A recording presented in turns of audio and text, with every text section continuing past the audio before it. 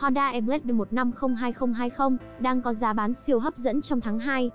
Cập nhật giá bán Honda E-Blade 125 và E-Blade 150 2020 tại thị trường Việt Nam trong tháng 2 này. Khảo sát tại một số đại lý Honda ở Hà Nội và thành phố Hồ Chí Minh cho thấy, giá bán đã hạ nhiệt đôi chút so với thời điểm trước Tết Nguyên đán. Tuy vậy, giá thực tế của Honda E-Blade 2020 vẫn chênh cao hơn hẳn so với giá đề xuất từ vài trăm ngàn đến vài triệu đồng.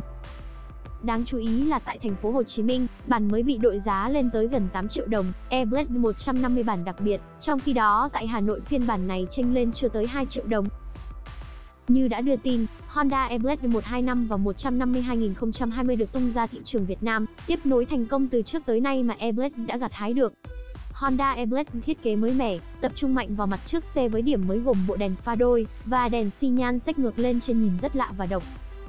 Cùng với vẻ ngoài nam tính, thể thao, Honda E-Blade 2020 còn có cụm đồng hồ LCD mới nhìn bắt mắt.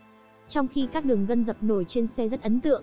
Nhìn tổng thể bên ngoài Honda E-Blade 2020 chắc chắn đem lại sự tự tin cho người sở hữu. Sự bổ sung thêm bản động cơ 150 phân khối cho gia đình Honda E-Blade giúp tăng thêm phổ rộng lựa chọn cho người tiêu dùng. Đồng thời điều đó cũng giúp cho E-Blade cạnh tranh mạnh mẽ và toàn diện hơn với các đối thủ điển hình như Ram AHNVX. Cảm ơn các bạn đã xem video.